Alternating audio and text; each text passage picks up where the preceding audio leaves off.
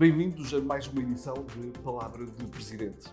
Estamos em Arcos de Valdevez, onde o social-democrata João Manuel Esteves foi eleito nas últimas eleições autárquicas para o seu último mandato com um total de 58,2% dos votos, alcançando assim 5 vereadores. O PS, com 30,3%, elegeu dois vereadores. Em relação a 2017, o PSD, que alcançou 67,8% dos votos, perde um vereador. Sr. Presidente, muito obrigado por estar aqui connosco, neste belíssimo espaço onde podemos conhecer a história de Arcos de Valdevez, desde o século XX até à pré-história, uh, o espaço uh, Valdevez. Muito obrigado por nos acolher aqui. Uh, o seu executivo aprovou as grandes opções do plano e orçamento para 2024, no valor de 36,5 milhões de euros, cerca de 4 milhões uh, a mais do que no último ano. Desta verba, 24 milhões são para investimentos. E eu pergunto-lhe qual vai ser a grande obra a realizar no próximo ano. Ou a verba é para dar continuidade a obras, como diz o PS? Bom, eh, antes de mais é um gosto receber-vos aqui no, neste edifício que é o último espaço cultural que nós criamos, de uma rede. Quando cheguei à Câmara havia um espaço cultural, que era a Casa das Artes e a sua biblioteca. Hoje em dia temos um circuito no Conselho de cerca de oito espaços culturais e este é o mais recente. E este permite-nos fazer um passeio pela história dos Valdevez de 8 mil anos. E é exatamente nessa história dos 8 mil anos que eu uh, me queria centrar para dizer o seguinte: nós não começamos hoje o desenvolvimento do Conselho, nem vamos ser nós a terminar o desenvolvimento do Conselho. Portanto, vai haver sempre um contínuo de desenvolvimento. Vão aparecendo projetos, vão ter que se concretizar projetos, vão ter que se desenvolver projetos. E por isso, um, quando me dizem que nós estamos a dar continuidade a um projeto, eu digo sim, claro que sim. É o projeto de desenvolvimento do Conselho de Arcos Valdevez. E sobre isso não pode haver muitas dúvidas sobre esse objetivo de criar um conselho que seja mais justo, um conselho mais inclusivo, um conselho mais próspero, um conselho com mais oportunidades para todos e um conselho com sustentabilidade. Portanto, isto é um projeto que nós começamos, que fiz alarmes do meu tempo, em que eu estou como, em que estou como Presidente de Câmara, estamos a falar de 10 anos, e portanto os projetos, os projetos têm tempo e as pessoas têm tempo para implementar os projetos. Mas vai ter alguma grande obra neste... Nós vamos, nós temos sempre grandes obras. Nós temos sempre grandes obras. Eu, quando falo das grandes obras, estou a falar daquilo que é o trabalho que fazemos em conjunto com as pessoas. É um trabalho, é um trabalho grandioso. Se me perguntar que vamos continuar um grande trabalho que estamos a fazer, que não havia, do ensino superior em Arcos Valdevez com o Instituto Politécnico, claro que sim. Estão a perguntar se vamos fazer, porque é preciso tempo para fazê-lo, o projeto de habitação para pessoas com necessidades. Claro que sim, vamos continuar esse trabalho. Esse trabalho vão aparecer as casas agora que vamos começar a construí-las. Se a grande obra é dizer que a vamos construir, mas é para trás houve um trabalho de planeamento, ou um trabalho de estruturação, ou um trabalho de, com, com um conjunto de pessoas. Se vamos falar que agora vai haver mais zonas, mais espaços industriais, claro que sim, nós vamos comprar um terreno para fazer. Mas isso é um novo projeto? Não, é, é continuar um projeto que é um projeto de sustentabilidade em termos de emprego no Conselho de Arcos Valdebês e criar condições para atrair investimento para fixar as empresas daqui de Arcos Valdebês. Se quisermos olhar e virmos um grande projeto, a Branda Científica é um grande projeto para Arcos Valdebês, para a área do Parque Nacional Peneda Gerês. Claro que sim. É um projeto que nós queremos, que andamos a desenvolver com o Biopolis. Será provavelmente uma estação científica internacional em Arcos Valdebês, a segunda de um projeto europeu que complementa com um projeto internacional que vai ter em África e na América, e na América também os seus ramos e que está intimamente ligado com um projeto que é o único centro de tecnológica e inovação na nossa no 3, que é, portanto, o Minho Lima, o Distrito de Viana do Castelo, o Alto Minho, que é o CITIM. É o único.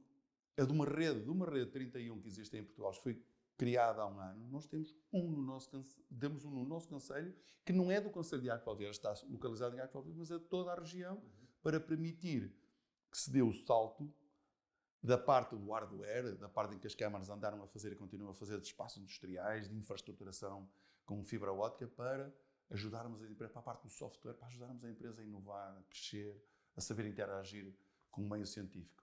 Esses são grandes projetos, essas são grandes obras, essas são aquelas que nós provavelmente iremos ficar e que iremos prevalecer é o que é que nós efetivamente estamos a fazer para, relativamente ao futuro. E esse futuro faz, sem dúvida alguma, com conhecimento. E o conhecimento é uma obra imensa, que tem, tem uma particularidade. Não é físico, mas é absolutamente essencial. Isso não dá votos? Dá. Eu acho que dá votos. Eu acho que dá votos e mais do que isso. eh, Eu acho que as pessoas compreendem a necessidade de nós investirmos nessa, no, no conhecimento de cada um. Basta ver, há vários, há vários uh, adágios populares que a gente tem e que são absolutamente essenciais, não é? Qual é a melhor herança que podemos deixar aos nossos filhos? Educação. De onde é que ela vem? Essa é a maior herança. É evidente que depois os pais puderem ajudar contribuir, uh, se a Câmara dá bolsa de estudo, se arranjarmos maneira de ter aqui um Instituto Politécnico, se arranjarmos maneira que um, que um, que um, que um jovem tenha um doutoramento que possa estar no CITI, no Centro Tecnológico de Inovação, possa estar numa empresa, ótimo, encantado. Mas isso é base, é educação. Foi por isso que fizemos um investimento brutal nos últimos anos em educação e vamos continuar a fazê-lo. Se dá votos, eu acho que dá votos. Reduzir tudo a, a obras de, de metros ou de, ou de, quilos ou de outra coisa qualquer, é evidente que pode ter mais visibilidade física. Claro que sim. Mas na essência, depois, cada um de nós é como a nossa casa, não é? O que se passa muito é o que se passa dentro da nossa casa, aquilo que fazemos na nossa casa e na nossa família, e que as paredes são o que são. Presidente, para as funções sociais, o orçamento reserva 13,8 milhões de euros. Receio que os próximos tempos sejam difíceis para as famílias. Sim, nós temos que ver, perceber bem o que é que nós estamos a falar. Quando falamos de, de, de, de funções sociais, estamos a falar de um vasto leque de, atividades. Umas delas são de caráter físico, como a habitação, outras delas, de, por exemplo, de infraestruturação, de água, de água, saneamento, outras delas de eficiência energética. Mas quando falamos dessa parte da obra, não é? E tanto estamos na, na, na parte de melhorar os equipamentos uh, das escolas, é uma realidade, ou, ou melhorarmos, a, melhorarmos a residência universitária que temos aqui com o Instituto Politécnico, a residência académica, mas também as bolsas de estudo. E também os apoios às famílias. Então aí nós duplicamos os apoios às famílias. Mas teme que seja, sejam tempos difíceis? Eu acho que tem a ver exatamente com esses tempos difíceis. Nós aproximamos de tempos complexos para as pessoas. Existe uma, um grande peso um grande peso nos impostos, existem questões como as taxas de inflação, existem questões muito complicadas como as taxas de juro, que estão a exigir muito das famílias. E, portanto, nós estamos aqui a ajudar, no caso em concreto, com as bolsas de estudo, com os apoios às rendas, com os apoios sociais das várias necessidades que as pessoas têm, com o pagamento de todos os transportes escolares no Conselho de Actos são gratuitos, arranjarmos forma que, que, as pessoas não paguem os livros, só mesmo aqueles que têm mais disponibilidade financeira, as famílias é que pagam livros no Conselho de Actos talvez e as fichas. E, portanto, temos que encontrar essa forma de poder equilibrar, de poder equilibrar a, a, a, o orçamento familiar. É por isso também que nós temos uma carga, somos e dizemos nós, temos uma política fiscal amiga das famílias. Por um lado, é uma, é, é uma política fiscal que diz, nós pagamos, reduzido. Por exemplo, temos um IMI que é abaixo daquilo que podia ser a taxa máxima, 75% abaixo do que é a taxa máxima. Temos um IRS que é 40% abaixo do que é, do que é a, taxa, a, taxa, a taxa máxima. Mas as pessoas continuam a pagar. Mas esse pagamento serve depois para fazer melhor e para ter mais disponibilidade para fazer política social. E, e, que a política social não é feita só para aqueles que têm mais necessidades eh, económicas ou financeiras. É também para muitos que, por vezes, não têm essas necessidades, mas têm outras necessidades. Outras necessidades de locomoção. Outras, nós, por exemplo, a Câmara dos Arcos paga mais cerca de 600 mil euros para ter as linhas de transporte público a funcionar no nosso Conselho. Foi-nos feita a passagem de transferência de competências nessa área, mas dinheiro a sério, dinheiro a sério, estamos, estamos falados sobre esse assunto, ou sobre outros, por exemplo, a educação, exatamente a mesma coisa. Nós fazemos um investimento, no outro dia estávamos a fazer as contas, 100 grandes obras, estamos a falar de 2 milhões de euros. E 100 grandes obras, não estamos a falar em obras gigantescas de centenas de milhares de euros. Estamos a falar de aspectos. Mas depois o dinheiro que recebemos é incomensuravelmente menor. Portanto, tem que haver aqui uma. A proximidade é absolutamente essencial na política. Mas essa proximidade tem que ter uma proximidade de articulação entre os vários níveis da, da administração, entre o local, entre o regional, por caso de haver agora, com o reforço da, das competências também nas comissões de coordenação, ou em termos nacionais, para que haja uma integração das políticas e para que haja também uma melhor afetação de recursos. Isso tem existido? Não, não tem. O que tem falhado? Essa, essa, o que tem falhado é, é o que, é o de cima? O que tem falhado é de cima para baixo, com uma tentativa sempre de tentar empurrar um conjunto de competências para os municípios, sem que isso tenha a respectiva, a respectiva digamos assim, hum, transferência de fundos. Isso é reconhecido por todas as autarquias, independentemente do posicionamento político. E, portanto, quer dizer bem daquilo que nós estamos a falar. Não tem a ver, não tem a ver com as câmaras que são da oposição, as câmaras que são da situação. Tem a ver com esse com o facto que é uma realidade. E, portanto, isso implica, obviamente, implica que o Estado transfira verbas que sejam compatíveis com aquilo que são as necessidades. O Estado tem que transferir todas as verbas? Não. As autarquias têm que fazer o seu papel? Sim. Agora, há coisas que nós temos que, por exemplo, o Estado tem que regular. Dizer, este é o padrão aceitável. E a partir daqui, cada um pode fazer mais do que esse padrão, mas pelo menos esse padrão, esse nível, tem que ser garantido. Sou pena de depois criarmos umas dificuldades que são óbvias. É como tudo, não é? Como, como quando a gente puxa, puxa um, um, um cobertor, não é? é? se, tem, se tem falta, se tem frio aqui na zona do pescoço, puxa, fica com os pés às mostras. E depois, portanto, nós temos esses problemas e isso tem que ser resolvido. O PS, na análise a este plano e orçamento, aponta uma série de falhas, diz que o orçamento responde a necessidades como despesas com pessoal, gastos correntes e parte das obras públicas. Qual é o comentário que lhe merece esta, estas críticas? Não consigo perceber. Por um motivo simples. O PS também disse que não, tinha, não apresentava propostas. E, portanto, admito que seja uma visão do PS, eu também não estava à espera que fosse diferente, agora essa não corresponde àquilo que é a realidade. E, portanto, nós o que temos? Temos um conjunto de obras, um conjunto de atividades, um conjunto de iniciativas, estão à vista de toda a gente. Toda a gente reconhece. E elas são apoiadas e aprovadas pelo Partido Socialista depois ao longo do ano. Afinal, qual é o problema? É o posicionamento partidário, a politiquice de dizer que chumbaram o, ou que votaram contra o plano de atividades que depois, durante o ano, vão aprovar parcelarmente todas as ações que lá estão. Portanto, não há coerência? Não há coerência na, na... Pois eu acho, eu acho que isso, tem, se não me pergunta a mim, aquilo que eu vejo é isto. E estes são os factos. Se, se, qual, é, qual é a política de alternativa que tem? Daquilo que eu vi e daquilo que eu, que eu tive a oportunidade, não há verdadeiramente uma política de alternativa relativamente àquilo. Há complementariedade, há algumas questões que são. Claro que sim, nós não somos ninguém, ninguém é dono de toda a verdade. Agora, qual é, qual é, qual é a ação que, que dizem. Também não percebo com, se, quando falam, porque dá a entender que então há dinheiro para umas coisas, mas depois não há dinheiro para outras. Isso também é um facto. Não há dinheiro para tudo. Se, se eu tivesse a disponibilidade, por exemplo, eu disse já mais de uma vez que o dinheiro ou o investimento que podíamos fazer em abastecimento de água e saneamento seria muito maior se o Estado fizesse aquilo que não fez. E o Estado não fez, foi, passou para metade os, as verbas dos fundos comunitários para abastecimento de água e saneamento. E agora criaram um problema grave, que é preciso continuar a fazer obras e não estão. Não há lá verbas suficientes para isso. E é que criaram um problema grave ao próximo governo também, porque hipotecaram já o próximo governo relativamente a este assunto. Mas eu disse, eu estou disponível. Nós temos projetos, nós temos iniciativa, nós lançamos a obra. Se nos, criarem, se nos criarem os fundos, se nos criarem as condições para que a gente possa efetivamente fazer mais. Não é fazer tudo, é fazer mais. Sim. Mas essa não é uma competência da Águas, do Alto Minho? Não.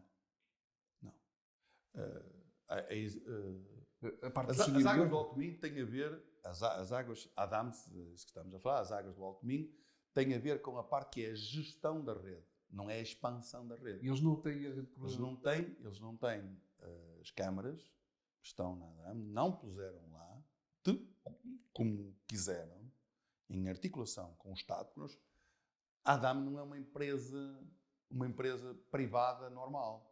A ADAM é uma empresa cujos associados são todos, são todos públicos, sendo que aquele que tem maior, maior parte é o Estado português, que é, que é as águas de Portugal. Portanto, não é. E foi lá colocado exatamente para gerir a rede que nós montamos e que fazemos. E, portanto, a parte da expansão da rede, quer seja de água, quer seja de saneamento, compete àquilo que os municípios e o Estado português consideraram. Porquê que nós consideramos que isso ficava de fora da, da, do âmbito da, da atuação da, da ADAM? Como sabem, todo aquilo, todo o investimento que é feito em Portugal no ciclo urbano da água, ou seja, na água e no saneamento, tem que ser repercutido diretamente ao consumidor. Ora, se nós pusermos lá as obras, o que é que vai acontecer? Vai acontecer uma coisa que é simples. O peso da obra é muito grande, que é amortizado ao longo de muitos tempos e, em caso em concreto, territórios de baixa densidade como o nosso, há alguns que muito dificilmente a população alguma vez irá pagar aquilo que foi feito. Mas isso é um custo que nós temos, é o custo social que nós temos e é por isso que existem os fundos comunitários. E foi por isso que nós fizemos isso. E, portanto, fizemos isso claramente, conscientes de que isso ia desonerar e não ia, não ia pôr ainda as tarifas, pôr as tarifas altas, por causa deste assunto. E, portanto, ficou na esfera de atuação entre o Estado e entre o Estado português e as autarquias, no caso concreto nós e as Águas de Portugal e o Estado português, porque é o Ministério as águas de Portugal são tuteladas pelo Ministério do Ambiente, que é o Ministério que tutela os fundos comunitários relativamente a esta área. Já está arrependido de ter pertencido às águas do Alto Minho, como Valença já manifestou, como a, a, população de Paredes de Cor, a certa altura, também manifestou uh, quando houve problemas uh, de faturação e que se manifestaram. Bom, vamos ver. Nós temos várias coisas que são, estão aqui em cima da mesa e que muitas delas são extremamente importantes porque umas delas estão no tempo e no espaço, e no tempo e no espaço acontece um determinado número de coisas em determinados sítios, num determinado momento, que se a gente olhar depois no tempo, vê, ok, isto aconteceu aqui, mas isto foi fruto de uma circunstância. E, e disse isso. Houve um conselho, houve um conselho e vários, também houve nos Arcos Valdez, problemas que advinham do modo de funcionamento naquele momento. Hoje em dia não se, não se, não se acontece isso. Correu mal naquela altura, correu muito mal. E, portanto, isso, os municípios reconheceram, os municípios apoiaram, ainda continuam a apoiar. Mas eu não estou arrependido de entrar na ADAM por um motivo simples. Porque o motivo por qual entramos na ADAM é um motivo que é perfeitamente entendível por todos. O preço da água? É a gestão da rede. A gestão da rede. É que hoje em dia, no Conselho de Águas Valdez, a rede de água e saneamento é muito maior que a rede de estradas. É preciso mantê-la no futuro. Onde é que se vai buscar as verbas para manter uma, uma rede dessas? para garantir um nível de serviço que as pessoas exigem. Essa é, que é, essa é que é a razão pela qual nós fizemos este assunto. É evidente que também isso levou a que a gente pudesse fazer mais investimento. E é isso que está, que eu reclamo agora e os meus colegas reclamamos do, do Estado português. É que é preciso verbas para continuar a fazer investimento.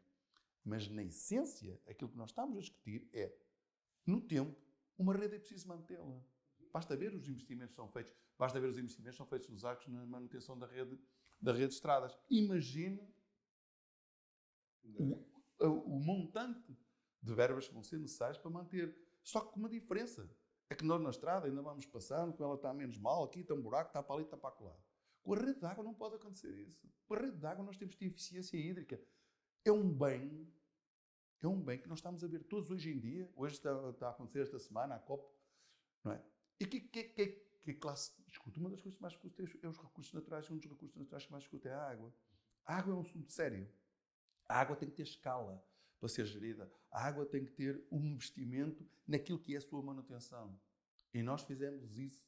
E eu acho que isso, apesar de poder ter sido mal entendido na altura, apesar de poder haver ainda, ainda controvérsia sobre determinados aspectos, mas muitas dessas questões estão a ser resolvidas ao longo do tempo. Mas ao longo do tempo, e isso vai se ver no tempo, é o facto de nós diferenciarmos muito relativamente àquilo, por exemplo, já foram os investimentos que nós fizemos comparado com outros municípios que não estão na e os investimentos que são feitos na rede comparado com aquilo que teria sido cada um de nós um esforço. O esforço independente de um comparado com o esforço de sete mais o Estado que potencia muito mais a capacidade de nós prestarmos esse serviço de qualidade à população, que é esse que está na mira e que é esse que esteve na, na, base, e é sobre essa base que eu estou a falar, e que sobre ela, e, que, e claro, como todas as coisas, neste caso em concreto, estamos a falar a, a 10, 20, 30 anos.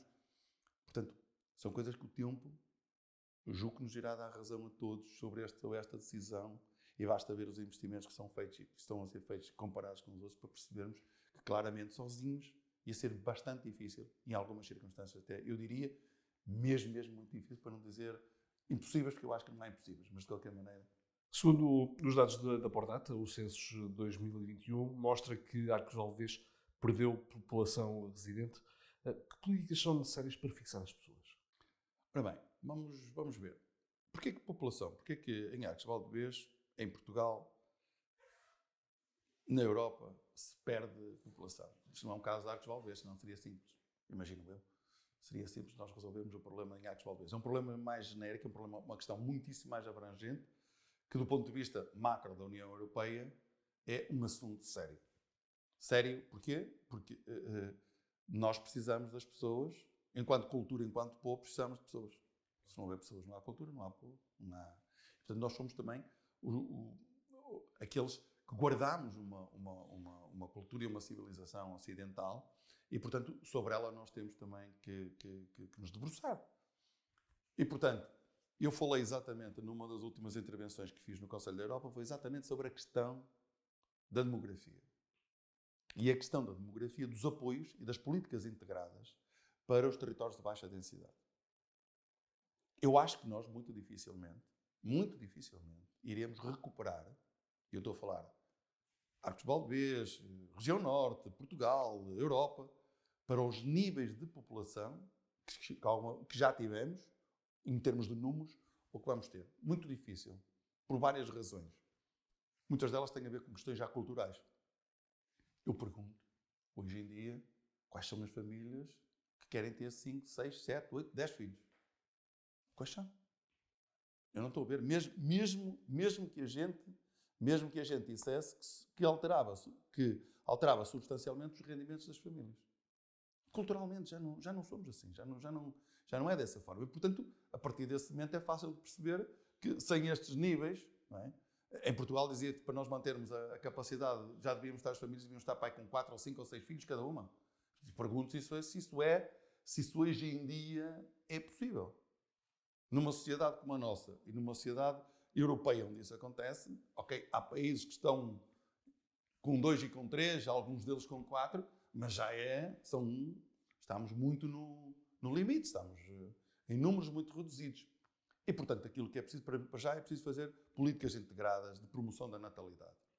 E uma delas, hoje em dia, tem muito a ver com a conciliação entre aquilo que é o tempo para a família e o tempo do trabalho. E, portanto, isso não se resolve no Conselho de Arcos Valdez. Isso não resolve. Na... Isso resolve-se com políticas mais integradas nacionais. Porque nós temos que ver esse. E essas são coisas, são assuntos que, que nós podemos discutir, podemos estar aqui a falar. Não, não, não, poderá haver políticas, também uma outra solução pode ser a atração de, de, de nova população, e estamos a falar da população migrante, Sim, por exemplo. Nós, por exemplo, eu vou dar nota disso. Nós, nós aqui nos AS temos um conjunto de, de, de, apoios para as famílias, não é? Como eu falei há bocadinho, de, de apoios para as pessoas poderem estar, sendo que o emprego é, é questão central aqui, e, portanto, nós também temos os parques empresariais, temos um projeto, um programa de apoio ao comércio, um programa de apoio aos produtos locais, uh, os programas, uh, programas de apoio social, programas para a habitação, e queremos continuar nessa. Isso, isso acho que tudo isso faz parte, digamos assim, do, do, de um conjunto de medidas e de apoios que tem que acontecer mais, mais no futuro, que serão absolutamente uh, necessários que, que, que aconteçam, porque vão ter que, vão ter que acontecer. A política de atração de pessoas para cá é uma realidade, mas é uma realidade sobre a qual nós temos que também oferecer condições às pessoas. Desde logo a primeira, que é a integração. Integração. Porque nós, por exemplo, no Conselho de Agos Valdevez, nós perdemos população por causa do saldo natural. Ou seja, morrem mais pessoas do que as que nasceram. Porquê? Simples. Duas ou três gerações de, de arcoenses estão no estrangeiro. Não é? Os netos que já deviam estar a ter filhos não estão. Nem estão os netos, nem estão os filhos, nem estão eles. E, portanto, foram todos para fora. E, portanto, nasce, mais gente, nasce menos gente cá que morre, é natural que a população caia. Mas, por exemplo, só para ter uma ideia, os últimos 5 anos, a queda da população é incomensurável menor do que era no, no, no, olhando à série dos 10 anos. A segunda parte é muito menor do que, do que a primeira parte, que depois dá um número considerável o saldo migratório é positivo. Ou seja, vem, vem mais gente para Arcos Valdez do que aquela que sai.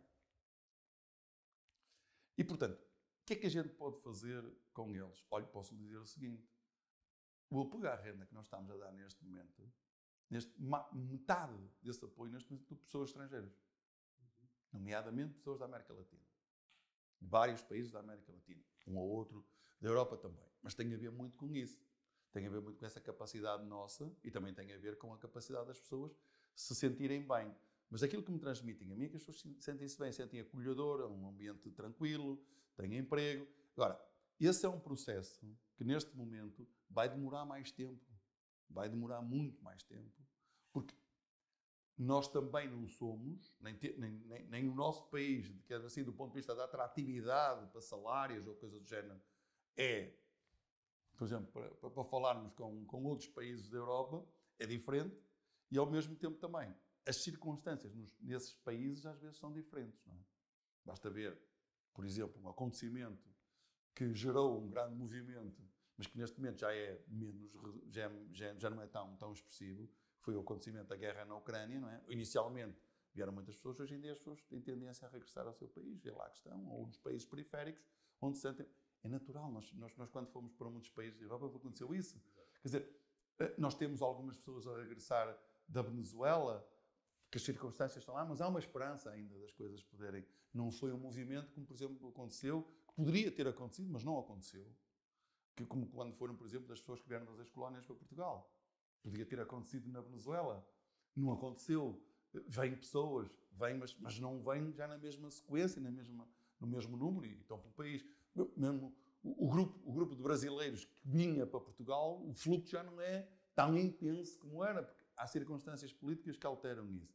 E, portanto, é importante, temos que continuar a fazê-lo, temos que fazer uma boa política de integração das pessoas, porque nós até temos emprego.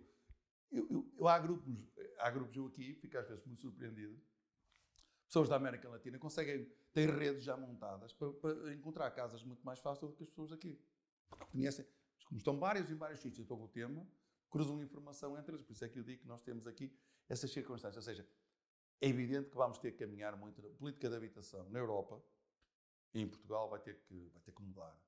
Vai ter que mudar. Isso, que, isso é fundamental. Quem casa quer casa, ou seja, quem, quem, quem sai quer ter uma casa. Se as pessoas não saem, estão na casa dos pais, as coisas não circulam, não circulam da mesma maneira. Mas isso, isso é para isso que nós neste momento estamos, por exemplo, ainda hoje de manhã, pedi mais uma, mais uma reunião com o IRU, no sentido de ver a ver se conseguimos fazer um projeto para rendas acessíveis, construção para rendas acessíveis, que acho que é absolutamente essencial se querem para essas políticas. A habitação já iremos também a um dos temas. O emprego é um dos fatores essenciais para a fixação de pessoas. Eh, e eu pergunto-lhe, o Conselho de Artes Jovens tem quatro parques empresariais. Uhum. Uh, tem sido fácil atrair empresas para estes eh, parques industriais? Mas ver, o trabalho da atração de empresas não é um trabalho de agora, é um trabalho de muitos anos, 20, 30 anos. O primeiro parque empresarial dos Arcos tem 30 anos. E, portanto, começou aí. E, portanto, é um trabalho que foi ao longo do tempo. Hoje em dia, movimentos, os movimentos de, de, empresas surgem, acontecem, muitos mais até por, por crescimento das próprias empresas, um, e isso faz com que, efetivamente, a gente continue e vamos comprar mais 55 mil, 55 mil metros de terreno para fazer um novo parque empresarial. E vão, ter, vão passar a ter cinco. Sim. Uh, e por isso, para nós, isso é importante. É um, é um trabalho que tem que ser feito porque é, até me vou dizer mais. Eu, neste momento, temos a ter muito pedido de empresas de arcos de Valdez.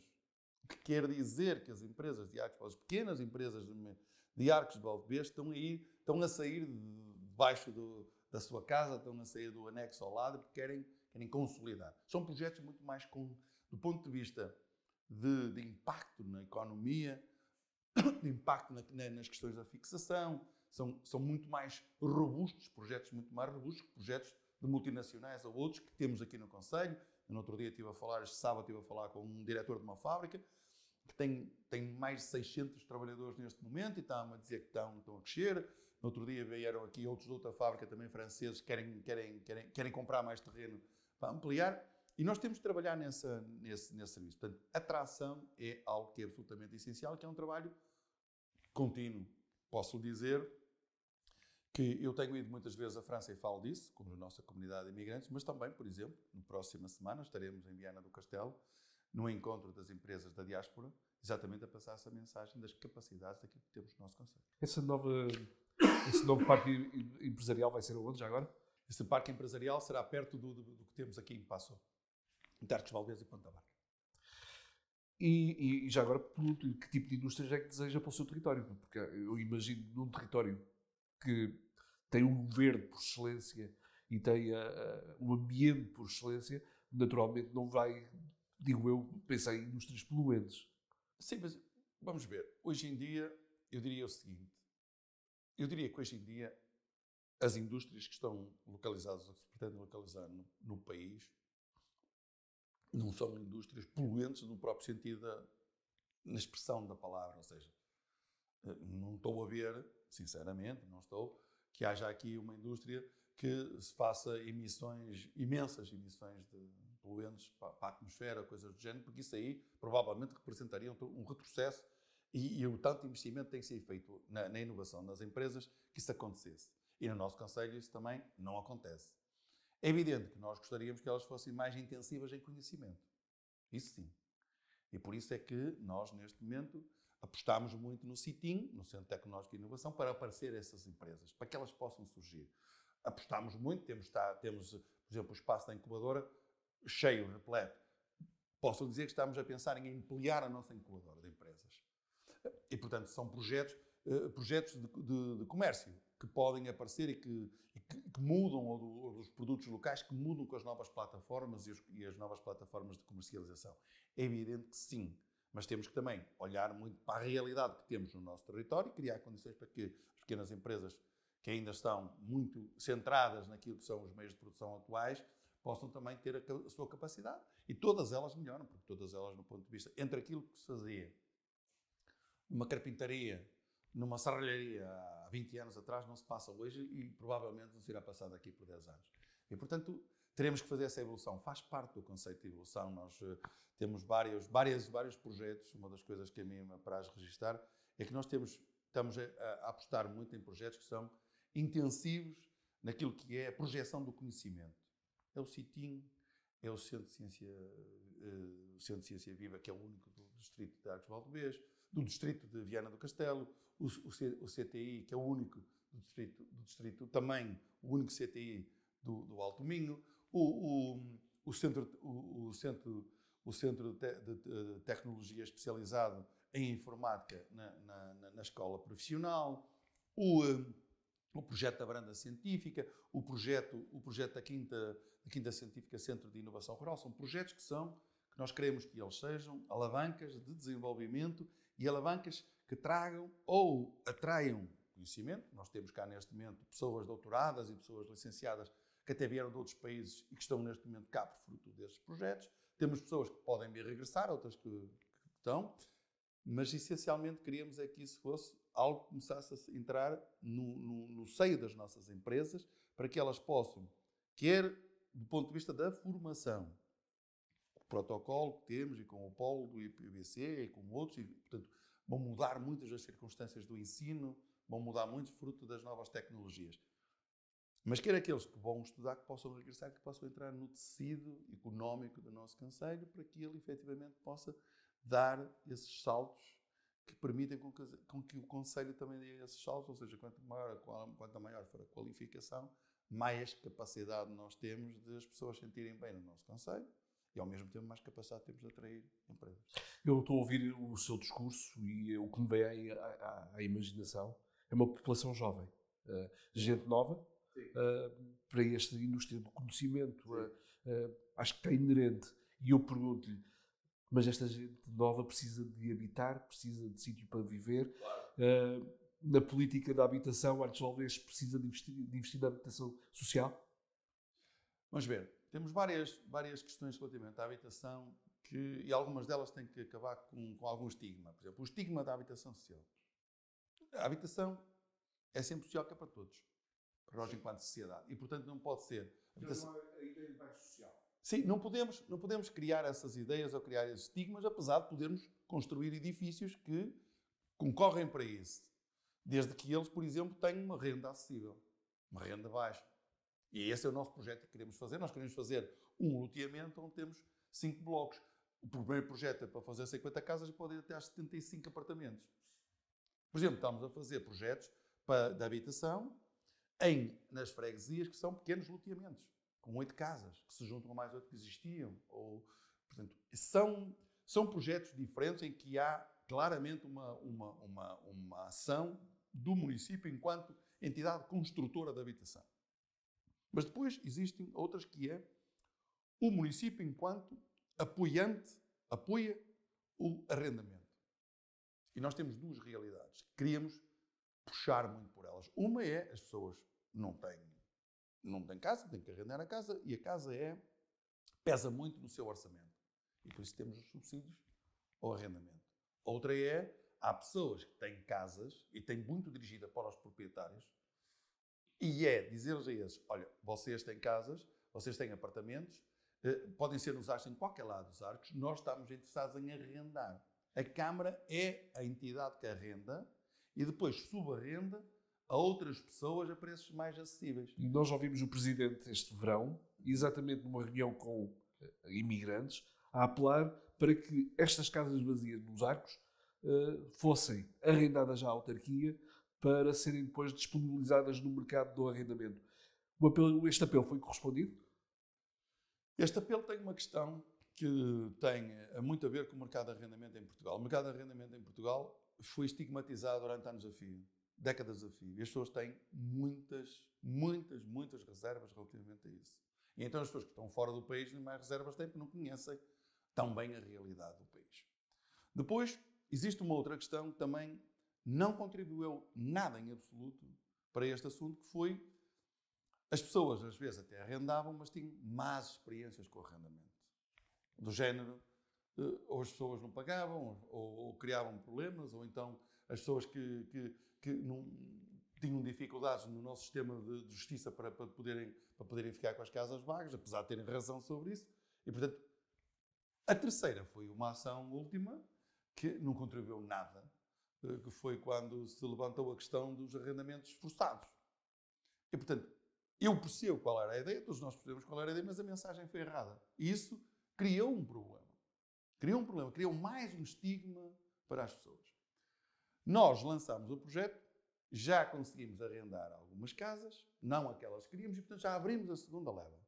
E eu continuo esperançado que, vai, que há espaço para abrir, para termos mais. Não vai resolver o problema da habitação, quer seja em Arcos Valdez, quer seja em Portugal, onde existem também projetos para, para se escolher, que é o rendas acessíveis. Mas é um contributo principalmente para criar algum rendimento às pessoas que têm, os, têm as suas casas, ou até que investiram em dois ou três apartamentos, apesar de terem a casa no outro lado, e poderem também fazer isso. Isso para nós era muito importante, porque isso era uma questão que era aquela que eu transmitia muitas vezes, era a questão de uns podermos ajudar aos outros neste esforço de encontrar habitação. A outra questão é uh, o caso de nós termos um projeto de apoio aos jovens que querem construir a sua casa. Isenção de IMT quando é nos terrenos ou nos, nos apartamentos. Isenção durante um período de tempo. Isenção do IMI durante um período de tempo. Se vão fazer a casa, nós damos um apoio de, financeiro até 1.500 euros para comprarem um projeto. Para, para, não é para comprar, para fazerem o um projeto da casa. Nós pagamos, eh, se é preciso fazer as, as, as ligações dos, dos saneamentos e dessas coisas todas, nós pagamos uma parte disso. Ou seja, temos um apoio direcionado para jovens e temos um apoio direcionado para todo o Conselho para a reabilitação de casas. Ou seja, tal como para os jovens estão isentas as taxas e, estão, e há reduções de IMI e de IMT, também para a reabilitação. Já não é só para jovens, é para todo o Conselho e quem quiser para incentivar também essa reabilitação. E, portanto, temos essa lógica e queremos caminhar nesse sentido dessa lógica. Até que haja uma política, que eu acho que essa é que devia aparecer, como já houve. Nós, nos, nos Arcos Valdez, temos um exemplo disso, que era habitação a custo controlado, que foi feito por uns privados que venderam 50 e tal apartamentos assim num ápice. Que é um projeto que temos aqui bem perto da, da, da sede do Conselho. E, portanto, tem que haver incentivos em Portugal, por parte do Ministério da Habitação, ou o sucedâneo que seja do Ministério da Habitação. A política de habitação do próximo governo tem que criar condições para que o, o, os privados possam responder a esta necessidade do país. Porque o Estado por si Sozinho não muito consegue? faça, não consegue. É, quer dizer, isso é óbvio. Dizer, não- não- é impossível o Estado estar a fazer, estar a fazer todas as, as construções, porque senão, senão constitui-se também como, como um construtor civil. E o Estado não é um construtor civil. O Estado não é um construtor civil. O Estado pode ajudar e pode ajudar principalmente aqueles que, aos setores mais carenciados da, da- da- da- população, onde as casas, onde provavelmente será muito difícil às pessoas pagarem a renda ou sequer pagarem qualquer apartamento. E isso sim, isso compete ao Estado e isso o Estado tem que, é aí que tem que centrar a sua atenção. Mas nós, neste momento, o que temos é muitas pessoas que não têm, é- que até são pessoas da classe média, classe média baixa, obviamente, mas que o seu rendimento fa- familiar, tendo em atenção quer o custo das casas, quer o custo das rendas, não chega. Não, não chega. Portanto, temos que encontrar aqui mecanismos para que o custo das casas seja mais baixo, mas que se torne suficientemente atrativo para que um conjunto de privados entre no, no- no- mais nesse mercado, como já houve. Era o CDH, a construção, construção a custos controlados, e, já existiu em Portugal, já existiu um grande movimento. Portanto, não estariam a inventar nada. Não, não era preciso inventar. É preciso é, é reinventar é os incentivos. Porque, porque neste momento a questão da habitação em Portugal é, é ligeiramente diferente naquele momento em que isso estava a acontecer.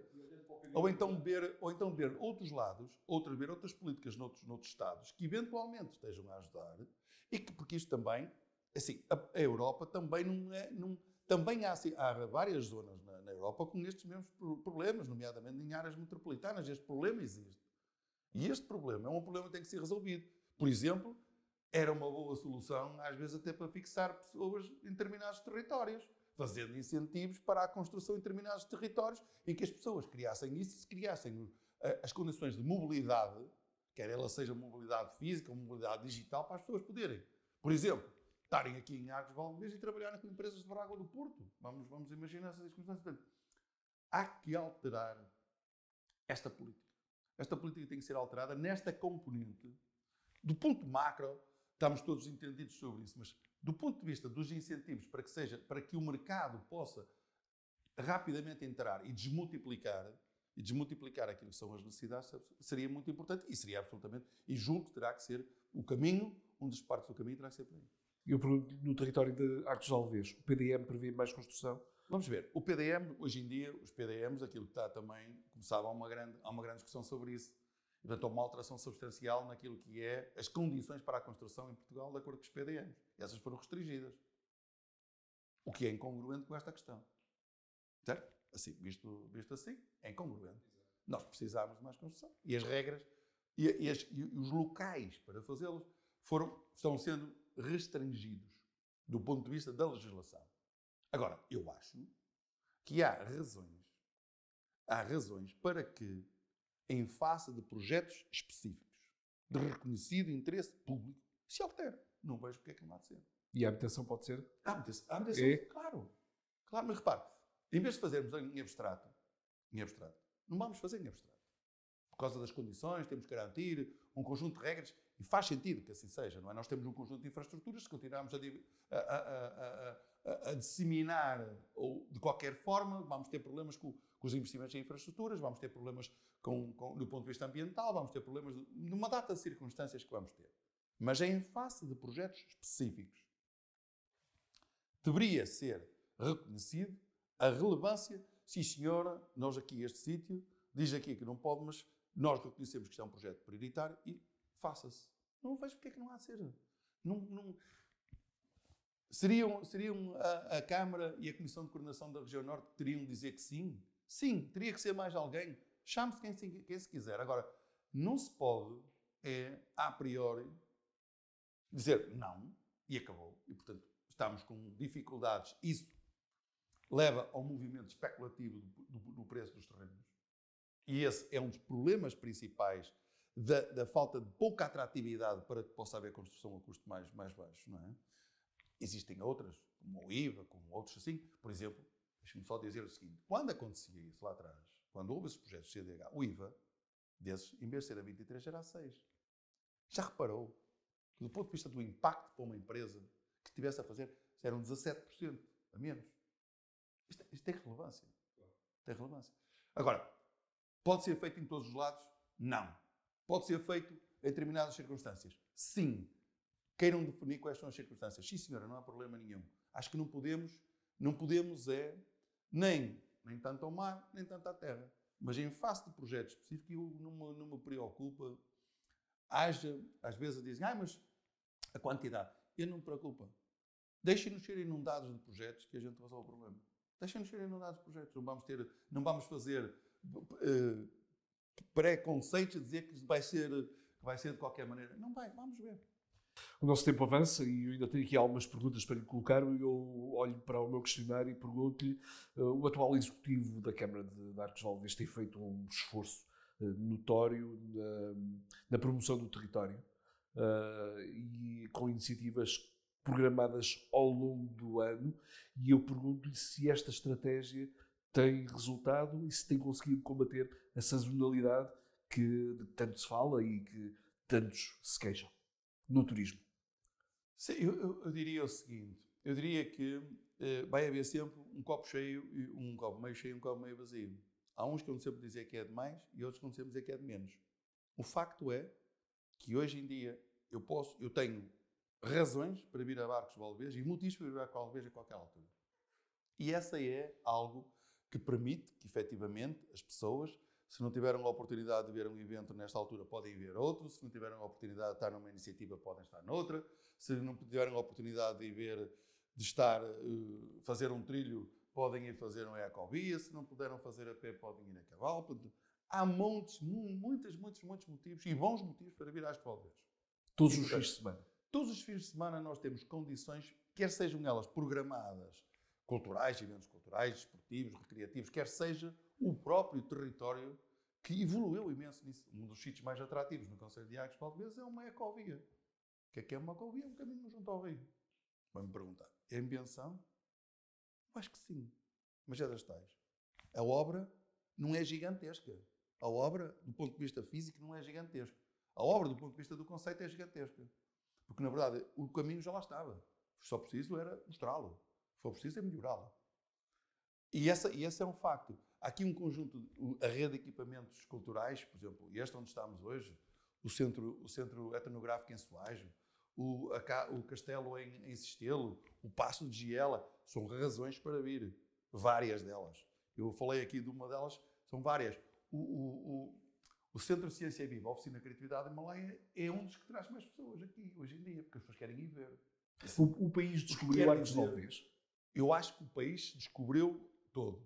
E eu acho que Arcos Valdez faz parte daquelas, daqueles que o país, que se conseguimos nós, nós, os promotores, os, os players do, do turismo, as juntas de freguesia, as associações, conseguimos nós, conseguimos mobilizar-nos e efetivamente temos maior visibilidade para, o Conselho de Arcos Valdez. Aquela ideia, por exemplo, do sistema Tibete português, Sim. isso são coisas que resultam. Sim, e estava lá. Ele sempre lá esteve. Aquela paisagem sempre lá esteve. Mas nós mostramos e conseguimos criar condições para que as pessoas pudessem usufruir dela. Melhor, a rede de equipamentos, idem, idem, aspas, aspas, as, as ecovias, são, são coisas que existem, mas que nós mostramos que era possível. O Arcos Valdez, onde Portugal se fez, os, os, eventos do Passo de Giela, que não existia, o, o, a nossa agenda cultural, o Sons Livres, que deu saltos incríveis, os, os, os festivais de acordo com as estações do ano, como estamos agora o Festival de Outono em Arcos Valdez, eh, a primavera, ou seja, há muitas, a gastronomia, a visibilidade aos vinhos. Eu, agora deixe-me perguntar-lhe, e o comércio local tem sabido aproveitar este esforço da Câmara Municipal? Eu acho que o comércio local tem percebido isso. E os arcos têm uma grande diferença relativamente ao resto do, do panorama. É que nós, na Câmara Municipal, criámos um programa de apoio financeiro à modernização do comércio. Havia um programa que o Estado descontinuou. Se me perguntarem a mim porquê, não sei. Parece-me uma, uma, péssima ideia, que era o PROCOM. Nós pegámos nesse projeto e posso lhe dizer que nós já vamos a caminho das. Nos últimos dois anos, já vamos a caminho de 56 estabelecimentos comerciais que se quiseram modernizar no Conselho todo. Mais de um milhão de euros de investimento, cerca de 30 postos de trabalho criados no comércio tradicional. O que quer dizer que ele está, perdoe-me, está, está a mexer. Está a mexer. É evidente que nós temos aqui que dar saltos, é evidente que nos produtos locais nós nós estamos a fazer uma estratégia. Melhorámos o mercado municipal, criámos os espaços esplanadas do BES para consignar os, todos quatro, quatro lojas comerciais de degustação, de venda de, de produtos locais. Fizemos uma certificação, temos um programa de valorização, de certificação de produtos locais e produtores locais. Estamos a dar mais visibilidade. Hoje em dia a visibilidade da carne caxiana é muitíssimo maior do que aqui era. O, o, os, os, charutos dos arcos foram a sétima maravilha, o bolo de discos não existia. Portanto, nós mostramos, e eu acho que isso é um efeito daquilo que nós todos temos feito, que temos, mostramos os holofotes. Arcos de Valdevez, hoje, quer em termos nacionais, quer em termos internacionais, tem visibilidade. E essa visibilidade vem deste esforço conjunto, temos que continuar, tem que, tem que, ser, tem que continuar, e temos que ser cada vez mais criativos nas formas, nas formas como chamamos as pessoas e na forma como elas nos, nos conhecem. De, eh, e há pouco falar nos vinhos, e eu, eu isto junto a gastronomia, vinhos e gastronomia, tem sido bons trunfos? É, é pela barriga que se conquista o turista? É, há, há, uma expressão que diz que a melhor maneira de chegar ao coração é através da, da mesa. Sim. E, portanto, essa, se nós queremos estar no coração das pessoas, essa é uma das boas maneiras. Os portugueses são conhecidos exatamente por isso, e muitos europeus são conhecidos exatamente por isso, a mesa é um sítio onde nós realizamos uma parte substancial da nossa, da nossa vida. Nós começamos com uma grande festa com batizado, celebração da vida, e depois sabemos vamos por ali fora. E todos, todos os grandes momentos das nossas vidas estão pautados por isso. Portanto, a comida faz parte, culturalmente faz parte. E a boa comida é preciso saber encontrá-la nos sítios certos. E nós temos um conjunto de restaurantes que estão nos sítios certos a fazer boa comida. E depois temos de ter bons produtos. E nós, na verdade, temos bons produtos. E por isso, temos aqui uma excelente conjugação. Se juntarmos a isso, isto tudo bem regado pelo vinho, e nós estamos numa zona de vinho verde de excelência, Quer seja do branco loureiro, quer seja o vinhão, do tinto. E, portanto, temos essa. E depois E agora com o espumante, espumante. E com o espumante. Exatamente, que é uma iniciativa nossa, um desafio que lançámos à, à, à adega cooperativa de Ponta Barca e Arcos de Valdevez e que fizemos isso e que lançámos o desafio, que é uma maneira de celebrarmos. É celebrarmos a vida. Esta é uma homenagem ao mundo rural. O mundo rural que, na verdade, precisa desses incentivos. Precisa fortemente desses incentivos e um mundo rural que é a base que é a base de muito da, da política de ambiente em Portugal, sem o qual, não havendo lá homens e mulheres, muito daquilo que é o nosso, a, nosso, a nossa excelência ambiental desaparece ou transforma-se numa outra realidade. Muito daquilo que é o turismo, muito daquilo que é o comércio, está fundamentado nestes, nestes, nestes homens e nestas mulheres que se dedicam e que se juntamos os bons produtos com os saberes e os sabores e uns e outros fazem aquilo que nós, na verdade, nos deleitamos quando chegamos a um sítio e depois é evidente que conseguimos fazer aquilo que nós muitas vezes queremos passar esta mensagem.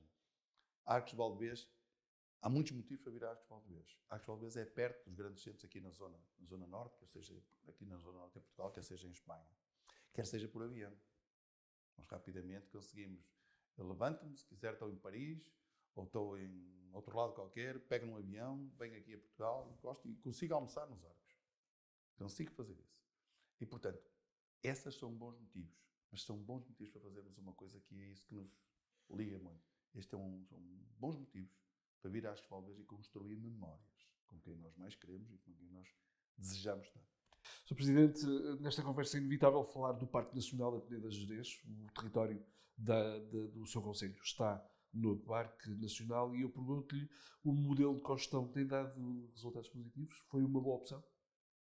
Eu acho que o modelo de costão é um primeiro passo para, uma, para, uma, para um caminho que nos vai levar inevitavelmente a que a gestão deste território seja mais participada pelas pessoas que o construíram. E esta é a palavra-chave.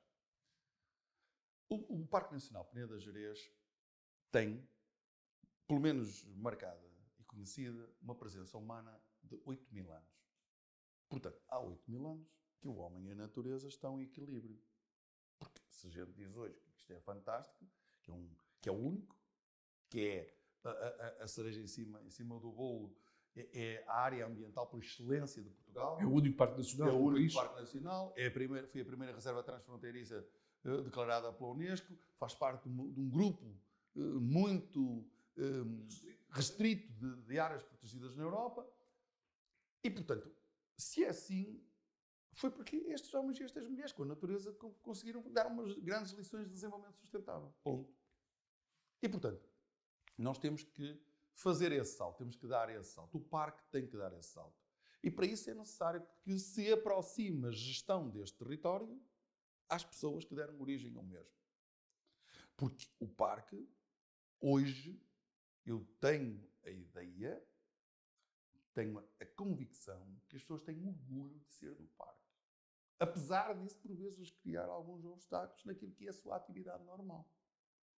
Porquê? Porque estão numa área protegida. Ok, mas isso tem benefícios? Tem. Pode ter mais? Tem que ter mais. E é para isso que vem a cogestão. É o primeiro passo. Porque eu acho que nós temos que avançar de um passo de cogestão para um passo de gestão integrada. Em que há a presença do Estado, a presença das autarquias, a presença das populações, a presença de, dos movimentos uh, associativos, quer sejam de cariz ambiental, quer sejam de desenvolvimento local, e a academia. E, portanto, essa é a razão porque nós achamos que a cogestão, que tem um plano, que nós desenvolvemos, que ainda há bocadinho eu mandei um mail a pedir exatamente mais uma reunião para encontrarmos estratégias de financiamento, mas que o Estado português tem que ter uma atenção diferenciada para o único, para o seu único Parque Nacional. Portanto, este é, este é um ativo do, do país, apesar de estar na nossa região. E, portanto, o Estado tem que reconhecer mais essa, essa, essa, essa, essa singularidade do parque e, e, isso tem que ser correspondido com maior atenção, com maior proximidade e, obviamente, com maior investimento em áreas que são absolutamente essenciais dentro da área do Parque Nacional Peneda das Gerês.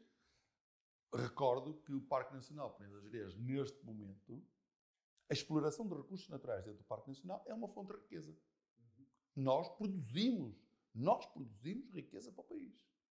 E não é só riqueza ambiental, ou seja, captação de CO2, que podia ser, mercado de carbono, que é muito importante, mas é a produção de energia elétrica, energia eh, renovável.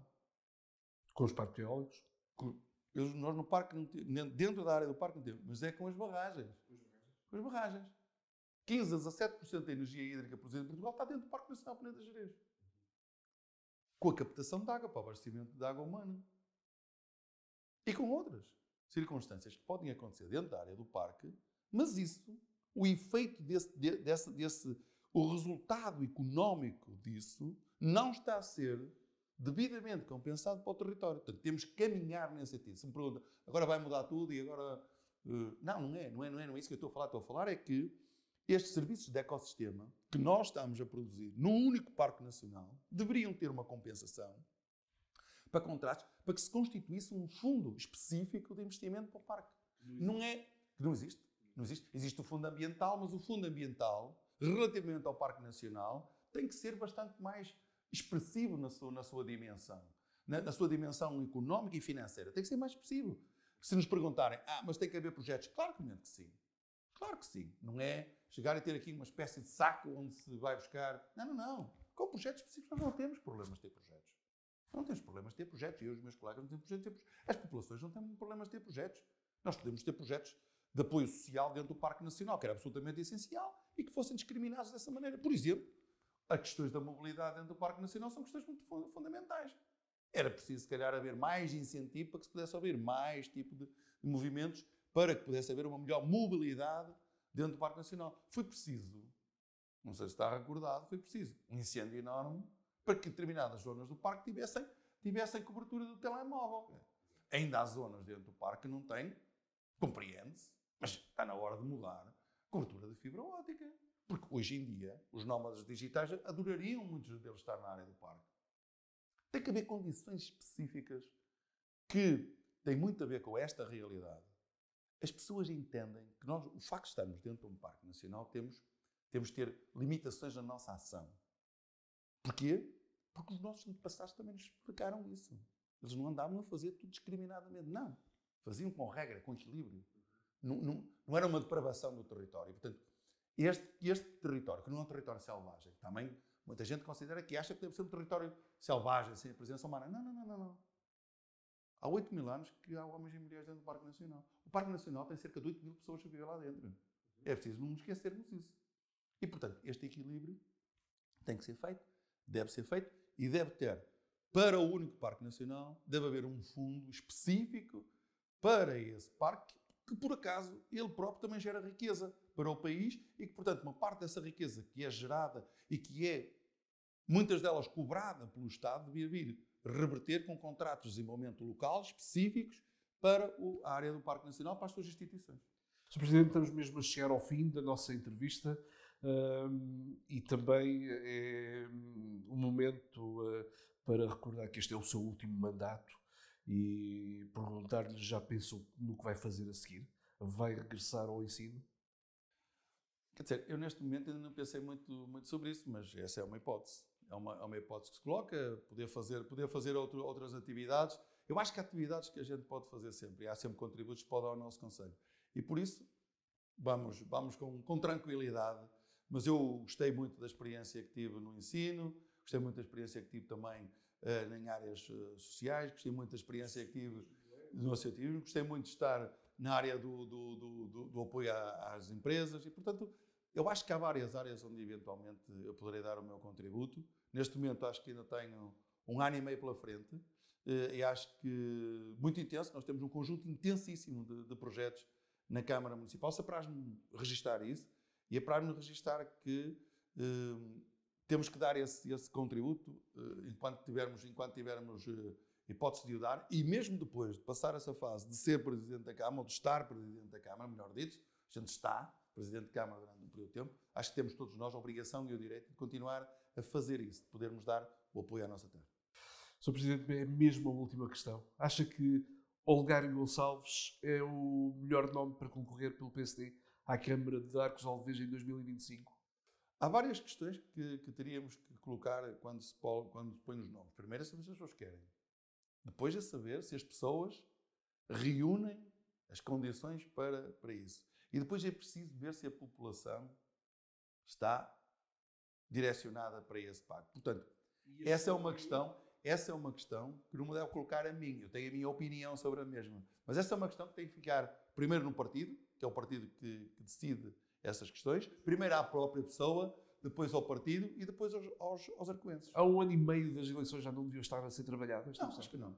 Acho que, quer dizer, acho que não, se me perguntar se já deviam ou não deviam estar trabalhadas, provavelmente está-se a trabalhar nesse sentido. Se já deviam não estar decididas, provavelmente temos tempo. Se, porquê? Porque muitas destas coisas, muitas destas coisas, para muitas pessoas, as circunstâncias em que determinado tipo de, de, de, de acontecimentos nas autarquias ocorrem, muitas delas, às vezes, existem com poucos meses de, exercício.